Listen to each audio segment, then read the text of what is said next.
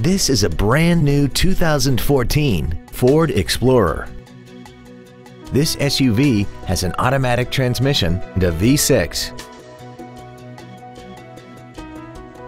Stop by today and test drive this automobile for yourself. South Bay Ford is your Hawthorne area Ford dealership, specializing in new and pre-owned vehicles, service, and parts. Stop by our showroom at 5100 West Rosecrans Avenue in Hawthorne or visit us online at southbayford.com.